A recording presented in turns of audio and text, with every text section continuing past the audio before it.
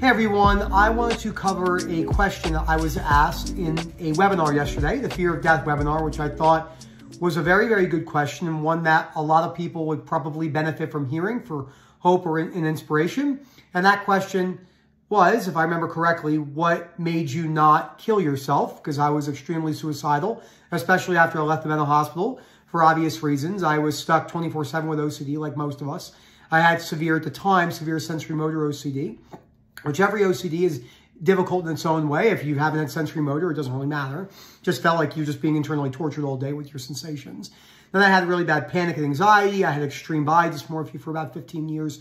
And everything came to a crashing halt. My father died, then my dog died, then my father died, then my aunt died, then my dog died. So my mother lost her husband, her only sibling, and her dog that slept in their bed for 10 years, all within 90 days. I remember I was at my dad's funeral, and my my uh, aunt got out of the car and she was so jaundiced because she suffered with alcoholism that she died and she weighed 56 pounds when she died, which is what, 25 kilos? I mean, it was insane. She in home hospice and everything building up with me being in grad school. And it was just, it, I didn't want to live anymore. It's that simple. I didn't want to live. And there's a couple things that helped push me through to get to where I am today, which is the recovered state and here to make videos for you guys, sharing hope. This is a little bit more of a personal story for me. I don't tend to share this particular aspect in great detail too often, but I do think it is important. Before I go any further, please subscribe, hit that like button, let me know what you think about this. Uh, and if you need help with one-to-one -one coaching or webinar services, please reach out and we can get you in as soon as possible. We work with all time zones. We have people situated kind of all over the world, so we have access to all different time zones. And I think that is what gives us such a great value when we get people in, you know, as quickly as we as we can with it within reason, because our schedules are very, very busy. And we do translator calls too, because remember, we work with 70 to 90 different countries. So I think, and I'm kind of going to do this in a bullet fashion, almost in an academic sense. The reasons why I didn't kill myself was I was married, and I thought that if I could turn into a better husband, not a better person, a better husband, I would benefit by recovering from OCD. I wanted to help my wife and help my family which includes my two dogs that were just barking the first take of this video. I was literally making this video and then Daisy started barking. So she's over here now laying down when she was just actually barking at me before. And I, and I was like, you about to get it, girl. You about to get it. I'm about to take away all your toys, which are like things around the house that she chews on. Well, not anymore, she used to. So the dogs. Another thing was my career that kept me alive. I just I would think to myself, I put in so much hard work going to chiropractic school. I put in so much hard work getting myself through undergraduate school at University of Central Florida that I want to prove to myself that I can go towards these these things, these difficult situations in my life, such as OCD. And then just the hope of living in this time period. Because we live in a, and we live in an amazing time to have OCD.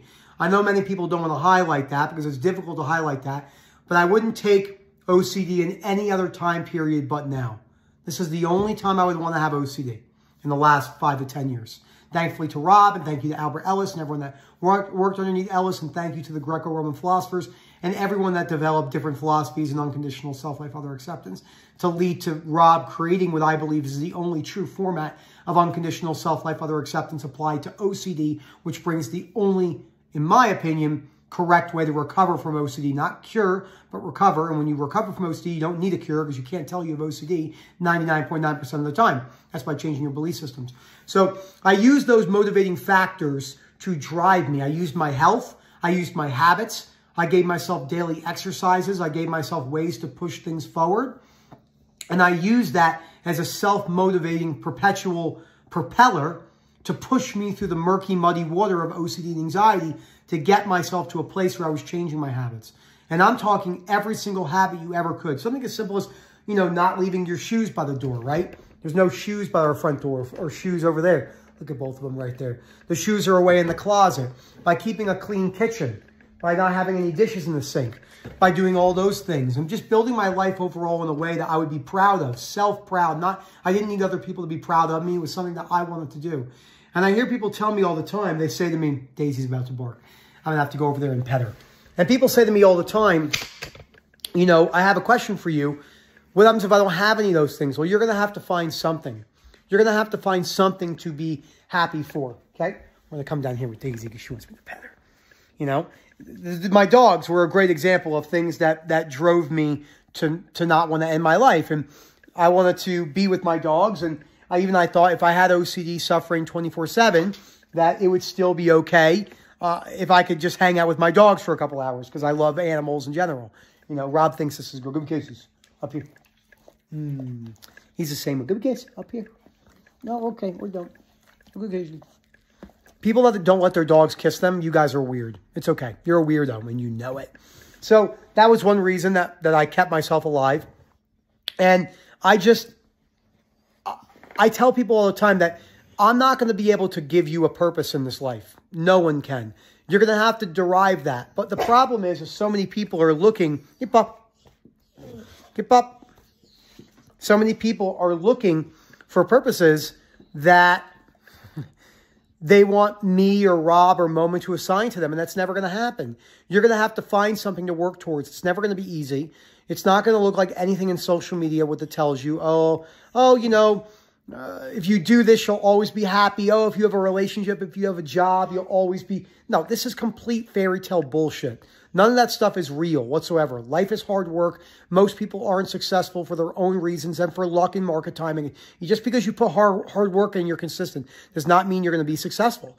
Many people are not successful who have good habits, but to give yourself a better opportunity, you need to work towards something. There's no such thing as universal purpose. There's no such thing.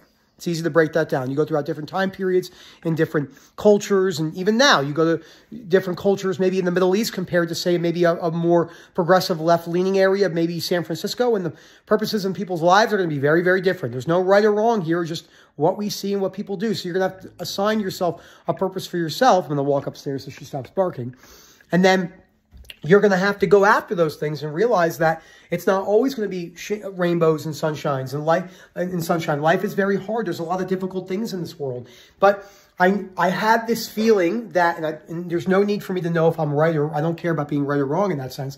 But I had this feeling that if I did that, and I pushed myself to work towards something, and I gave myself a personal meaning that I would have a better chance of OCD recovery and not wanting to end my life. So I think this is very important. Uh, sorry for my dogs interrupting the video a few times there. I didn't have a lot of time to make this YouTube video, but I did want to come in here and jump in and talk about that. So think about it. If you're in a place right now and you want to end your life, think about some things that maybe you could strive towards. There's no right or wrong here, and that could look different for everyone. But there is hope. You can recover from OCD, and, and best of luck to everyone. But you got to put the hard work in. You got to read the books. You got to push after things, and you have to go out there and get it, and that stuff is really important. And enjoy the rest of your day. Remember, PhiladelphiaRecovery.com. Have a good one, everyone.